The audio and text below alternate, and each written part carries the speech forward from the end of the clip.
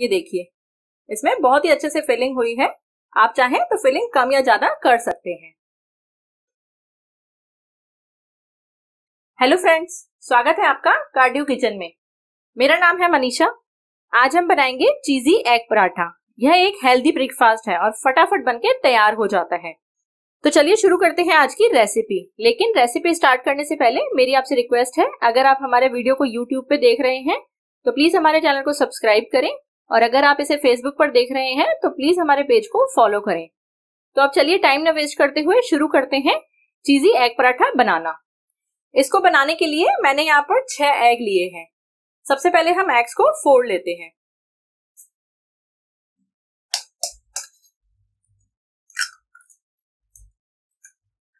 ये मैंने सभी एग्स को फोड़ लिया है। अब हम इसको अच्छे से मैश करेंगे। ये देखिए एग को मैंने मैश कर लिया है। अब हम चलते हैं गैस की तरफ़ और पराठे की फिलिंग तैयार कर लेते हैं।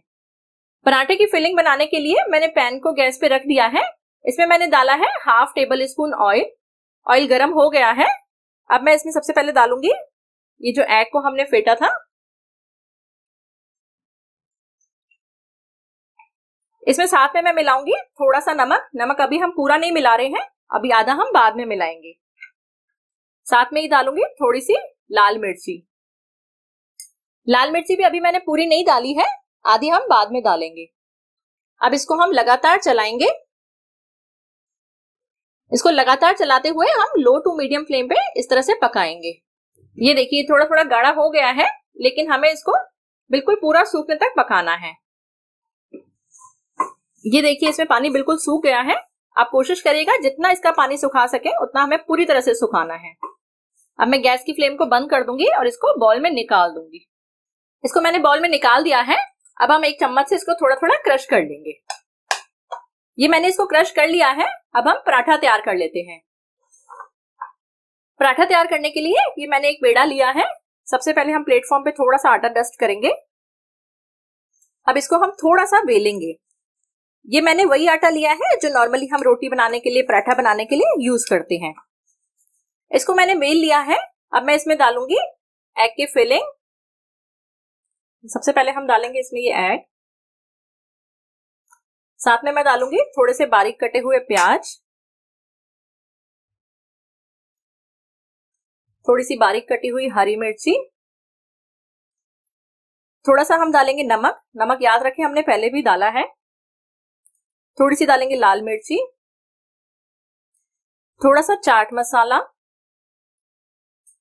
और लास्ट में इसमें हम ऊपर से डालेंगे चीज़ आप कोई भी चीज़ यूज़ कर सकते हैं।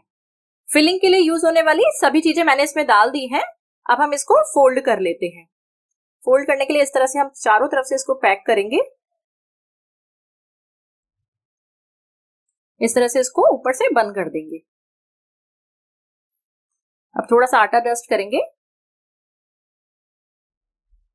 और इसको पराठे की जैसे मोटी थिकनेस का हम बेल लेंगे। ये पराठे की जैसे मोटी थिकनेस का मैंने इसको बेल लिया है।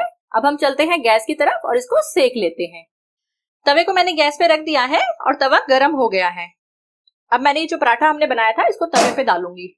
अब इसको हम थोड़ा सा सिकने देंगे, उसके बाद इसको हम टर्न करेंगे। ये नीचे से सिक गया है, अब मैं इसको टर्न कर लेती हूँ।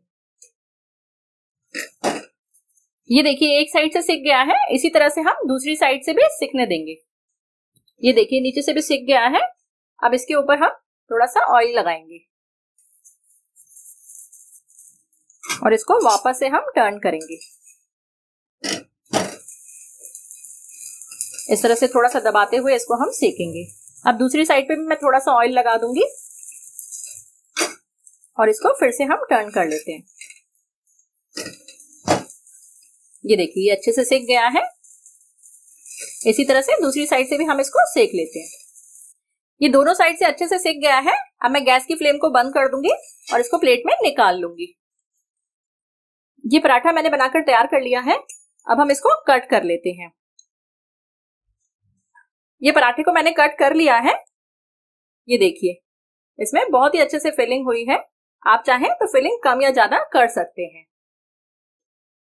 ये जो फिलिंग बची है, इसको मैं तब यूज़ करूँगी जब मुझे पराठे गरम गरम सर्व करने होंगे। आप भी चाहें तो उसको बाद में यूज़ कर सकते हैं। आप ये रेसिपी ज़रूर ट्राई कीजिएगा और कमेंट बॉक्स में बताइएगा आपको ये रेसिपी कैसी लगी।